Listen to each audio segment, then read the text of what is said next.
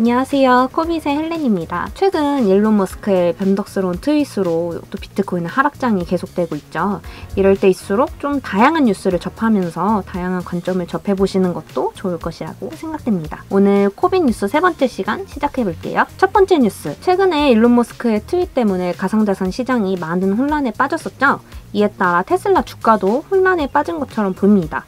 영화 빅쇼트의 주인공인 마이클 버리가 6천억 원 상당의 테슬라 풋옵션을 보유하고 있다고 미국 증권거래위원회에 신고를 했는데요. 이리저리 혼란스러운 시장 상황에 따라 투자자들의 피로가 극에 달한 모양입니다. 테슬라의 주가는 장중 561.2달러까지 하락했는데요. 이에 따라 머스크는 세계 부자 순위 3순위로 밀리게 되었습니다. 일명 머스크 리스크, 언제까지 지속될까요? 두 번째 뉴스입니다. 역시 최근에 비트코인 전력 소비량이 화두에 올랐었죠. 일론 머스크의 트위터 언급 또한 이에 무관하지 않은데요. 저번 주 금요일에 발간된 갤럭시 디지털의 리포트에 따르면 비트코인의 연간 전력 소비량은 시간당 113.89 테라와트를 소비한다고 합니다. 이 수치는 miner들의 요구 에너지, 소비량, 노드 전력 소비량을 모두 합친 수치라고 합니다. 뱅킹 시스템이나 금 산업에 들어가는 연간 전력량의 2분의 1 수준에도 못 미친다고 하는데요. 비트코인의 전력 소비 공방, 과연 누구 말이 맞는 걸까요? 세 번째 뉴스, ticker명 코인. 얼마 전까지 가장 화제의 주제였던 나스닥에 상장된 코인베이스의 주식에 관한 이야기입니다. 가상자산 시장이 조정세를 받음에 따라서 코인, 마라 같은 블록체인 관련 주식들의 가격이 미끄러지고 있는데요. 사실상 코인베이스의 주식 가격 하락은 어제 오늘 일은 아니었죠. 나스닥 상장으로 데뷔하고부터 쭉 하락세로 이어지고 있는데요. 포렉스닷컴의 글로벌 시장조사 책임자인 매튜 윌러는 코인베이스는 지금까지 선점한